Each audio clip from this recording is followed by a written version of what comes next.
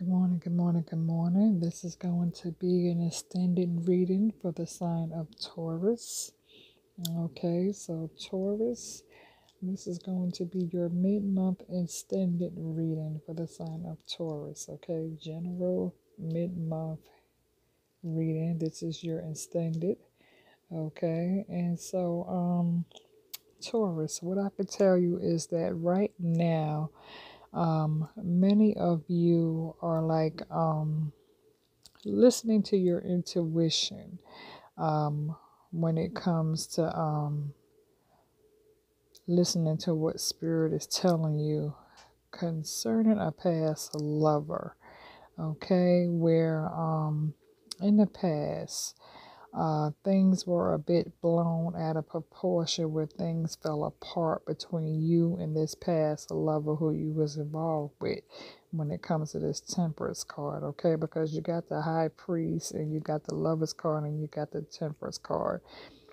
Um your lover represents the sign of gemini. Don't have to be but like I was saying with this temperance card, um, where things kind of, um, you know, blew out of proportion and fell apart, caused a tower moment with the tower card to come between you and your past person, where that tower, um, that abruptive tower caused things to come to an ending with the death card.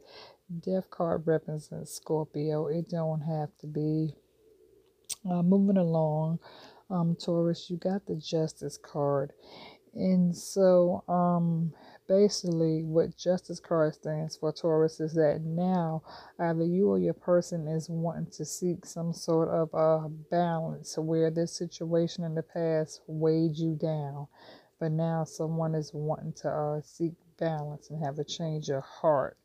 Where with this Judgment card, Taurus, um, someone is resisting and kind of hesitant when it comes to this connection where someone may not be too sure on whether or not they want to reach out and uh, communicate you know whether or not they want to um, reach out and call or text or email you know? So someone is um being a bit resistant when it comes to this judgment card and so it could be possible, Taurus, that someone views themselves as being the emperor, someone who um is a who feels as though um they view themselves as being in in control, or um or you may view your person as being a bit out of control, or they may view you as being a bit out of control, and that's what led to the breakup.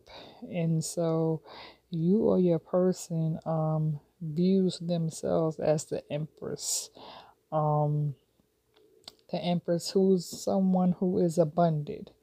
Okay, and so you may view your person as being abundant, or they may view you as being abundant.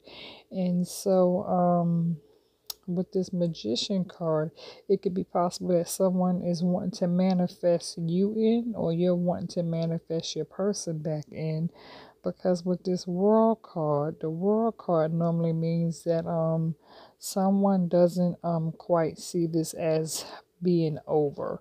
So someone doesn't view the situation as being the end. And so it's possible that either you're still holding on to the situation or your person may be holding on to the uh, past situation or both of you. It's possible that both of you may still be holding on to this situation and, and both of you may be wanting to uh, manifest each other in because um with this fool card um fool card represents wanting to take a leap of faith to new journeys when it comes to um wanting to start over and it could be possible that in the past um someone was a bit reluctant to change where someone was content with the way things were and was um content with being where they wanted to be and kind of wanted to stay put. But now someone is wanting to take a leap of faith moving forward. Um, because um, with this Hermit card, you know, many of us are shut in, and the Hermit card represents Virgo, and the Fool card represents air sign, which air sign is uh, Gemini, Libra, Aquarius. And like I said, the Lovers card also represents um, Gemini. And so um, the death card represents Scorpio. But moving along, um, like I said, this hermit card, meaning you could be like going within for answers right now because we are shutting due to the uh, coronavirus.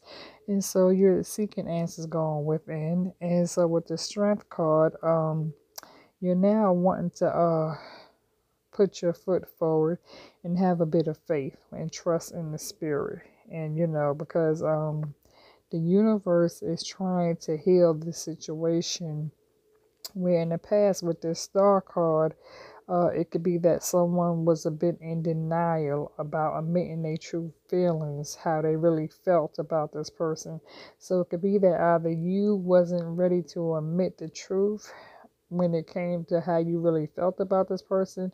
And so you pretty much was shut down and you didn't um, show your emotions or it could be possible the person you dealt with shut down and wasn't wanting to share their emotions or you know letting you know how they really felt or both of you could have pretty much shut down. You know what i'm saying? And pretty much didn't want to show your true feelings for one another but now you're wanting to um come out of denial because somebody got like a wake up call after going through some type of karma with that judgment card.